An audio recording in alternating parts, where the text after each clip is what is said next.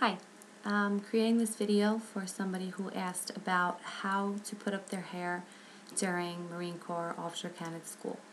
Um, the two most common ways are the sock bun, which you would use a sock, roll it up in this donut looking thing and create a bun. If you want to know how to do a sock bun, look for a YouTube video on it. Um, the other most common way is just the wrap, which is to put your hair in a ponytail and wrap it around the base of the ponytail and make a bun.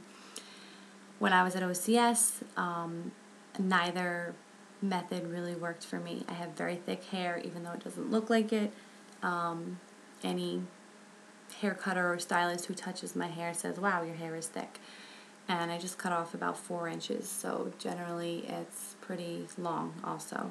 Um, I panicked for a little while at OCS. Um, every girl seemed to have a way that they felt comfortable with to put up their hair. Um, eventually, when you get there, you know, um, I didn't feel comfortable. I couldn't get a sock bun out right. I couldn't get a wrap right. My hair was just so thick and there was so much of it, and I was not cutting off my hair. So I felt pretty hopeless until some other candidate suggested the double twisty, or what she called the double twisty. Um, I'm going to try to replicate that for you right now. Um, just for the record, I am not a Marine. I did attend officer candidate school and got sent home with stress fractures, but I was there, and this is how I put up my hair pretty much every day, or once every two days, and I would just hairspray it and leave it for as long as I could. So, um, okay, first your hair must be wet, like out of the shower, wet, towel dry it a little bit and brush it out, get all the knots out of it, whatever. Um, the second thing you must do, besides your hair being wet, is you must put a ton of gel in your hair. I mean a ton. Get like a really, I think I used Garnier Fructis, um, what was it, like cactus hair. Um, just put a ton of gel in your hair, so much that you think it's gross. I'm not going to do that now because I don't want to have to wash out the gel out of my hair. So, after you put all the gel in your hair, you're going to take a tight ponytail, preferably the color of your hair. Black seems to be fine. And you're going to smooth out your hair.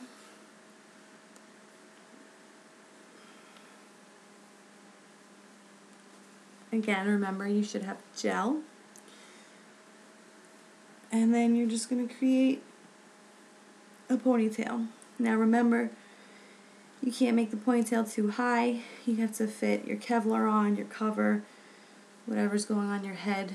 Um, you have to be able to put, put it on your head. So pretty much my cover would come down about here. I'm going to put my ponytail right below it. Um, okay, so the next step is to split your ponytail in two. This also might not work that well because I have an angle in my hair right now. There might be little pieces sticking out, but this is just to give you the general idea. You're going to split your hair into two pieces, almost like you're making pigtails. But remember, you have the ponytail in the back. And what you're going to do, I'm going to try to turn around for you. Okay. You're going to take one piece, and I always mix up the way you spin it. You just want to spin them in the same direction. So you're going to, I'm spinning this clockwise. And I'm to hold it up straight up in the air. Then I'm going to take the other piece. I'm also going to rotate it, spin it clockwise, twist it clockwise. And then I'm going to come up and over the first piece. I'm going to grab it from behind mm, while I'm spinning, twisting. And I'm going to come down. come down. Okay, and now I'm going to just continue, see maybe I have to twist it the other way, they just have to both be going the same way.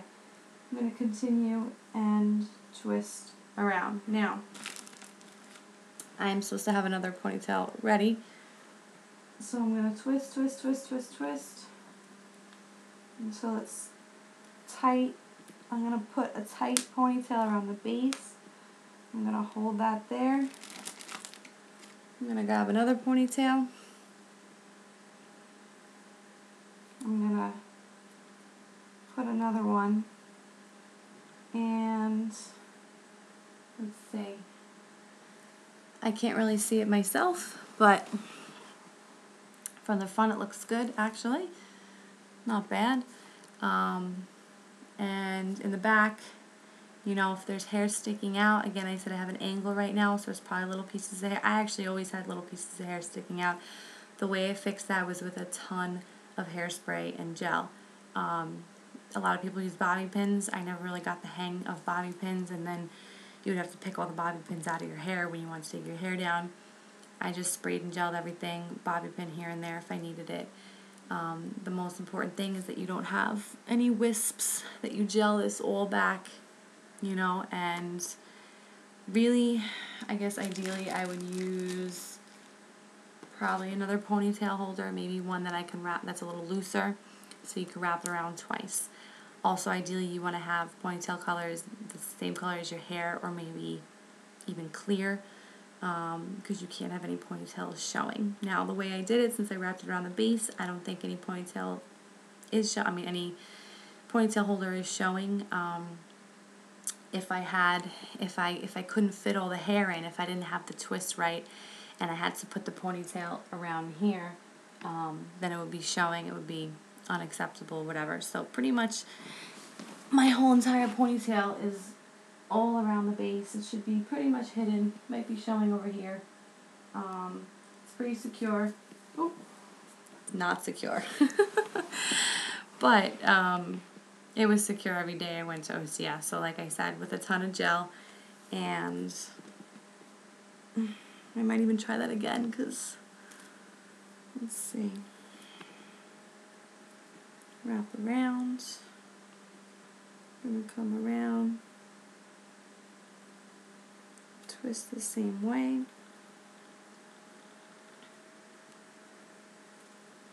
There we go.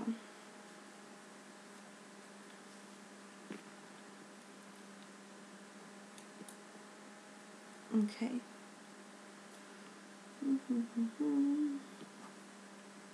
Okay, so I'm going to put one that's looser and I'm going to double double it up.